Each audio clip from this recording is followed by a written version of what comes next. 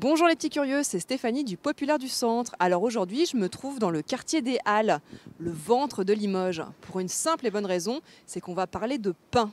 Est-ce que vous savez comment on fait du pain Et plus particulièrement du pain au levain, parce qu'il est bien différent des autres celui-ci. Non? Alors vous allez voir, on va aller voir Sylvain Thévenard de la boulangerie Chez Renard qui se trouve juste derrière moi. Il va tout nous expliquer. J'espère que vous n'avez pas peur de prendre un petit peu de farine sur le nez. hein. Allez, on y va, c'est parti, go Et bonjour les petits curieux, aujourd'hui je vais vous expliquer comment faire du pain, en tout cas le pain qu'on fait ici à la boulangerie chez Renard, un pain biologique au levain. Alors la première chose à savoir, pour faire du bon pain, il faut quatre ingrédients. Il faut de la farine, si possible de qualité. La farine que j'utilise, moi, elle vient d'un meunier qui s'appelle Frédéric Prado, qui est en Dordogne, et qui fait une farine écrasée à la meule de pierre. Ça permet de garder le germe et ça permet de garder beaucoup de nutriments à l'intérieur de la farine. Donc une bonne farine. Ensuite, on va rajouter de l'eau et on va mélanger dans un premier temps cette farine et cette eau. C'est une première phase de pétrissage qu'on appelle le phrasage. En général, ça dure deux minutes. On mélange bien jusqu'à ce que ça s'agglomère, l'eau et la farine. Une fois que la farine et l'eau sont agglomérées, sont bien mélangées, on va rajouter ce qu'on appelle le levain. Le levain, c'est ce qui va permettre la fermentation de notre pâte et donc d'avoir des pains qui vont euh, être jolis, qui vont être bien gonflés. Donc ce levain, on va le pétrir avec notre mélange de farine et d'eau pendant 13 minutes en première vitesse, c'est-à-dire que c'est un pétrissage qui est plutôt doux. Une fois que ces 13 minutes sont passées, on va rajouter le sel. Le sel, il n'est pas nécessaire d'en utiliser trop. Chez nous, chez Renard, on utilise 16 grammes au kilo de farine, c'est largement suffisant. Une fois que vous avez rajouté le sel, on va faire la dernière phase du pétrissage que l'on appelle le bassinage. On va mettre de l'eau tout doucement en vitesse 2 et ça va nous permettre un petit peu de voir comment la pâte réagit. Puisqu'il faut savoir qu'en fonction de la farine, en fonction de la météo, en fonction de la force du levain, il y a beaucoup de paramètres qui rentrent en jeu et qui vont nous permettre d'avoir une pâte qui a plus ou moins de force. Ce qui est intéressant à la sortie du pétrissage, c'est d'avoir d'une pâte qui fait une température de 24,5 degrés. C'est assez précis, mais c'est bien d'avoir cette température. On va dire entre 24 et 25 degrés en fin de pétrissage. Et l'élément qui peut être très bon, nous, ce qu'on fait ici chez Renard à chaque fois, c'est qu'on va vérifier un petit peu l'élasticité de cette pâte.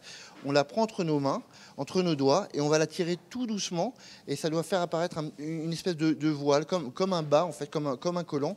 Et si on a ce, voile qui se forme, ça veut dire que notre réseau de gluten est bien formé, et c'est ce réseau de gluten qui va permettre à la pâte de- de gonfler, puisque quand les gaz de la fermentation vont vouloir s'échapper, ils vont être retenus en fait par ce euh, tissu, ce réseau glutineux.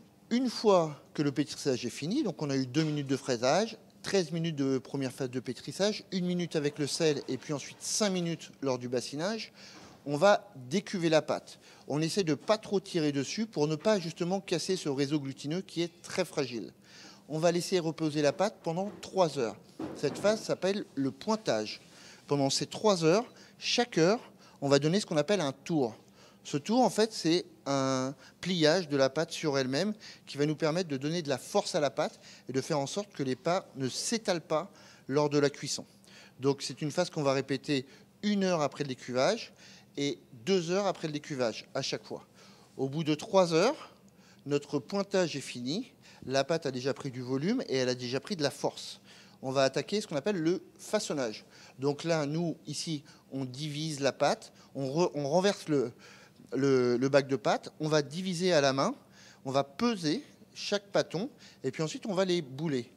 Et une fois le boulage terminé, on va rentrer dans une deuxième phase de, de fermentation qui va s'appeler l'après, A-2-P-R-E, accent circonflexe Et cet après va durer en général entre une heure et une heure et demie.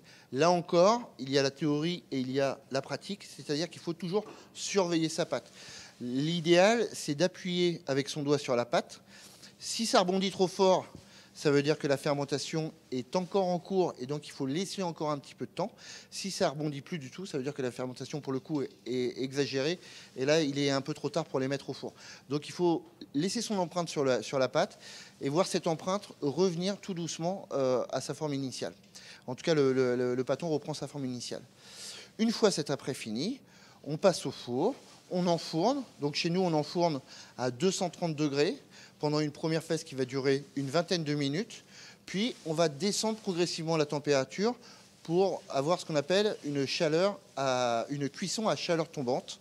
Donc qui reprend un peu le principe du four à bois. C'est-à-dire qu'on va commencer à 230 pendant 20 minutes, puis on va passer à 215 pendant 20 à 25 minutes et on terminera à 200 degrés pendant 20 minutes. À l'issue de cette phase de cuisson qui dure une heure, on va faire ce qu'on appelle le séchage des pains qui va nous permettre d'avoir une croûte, une, jolie croûte, euh, bien dorée et surtout un petit peu épaisse parce que chez les renards on aime la croûte.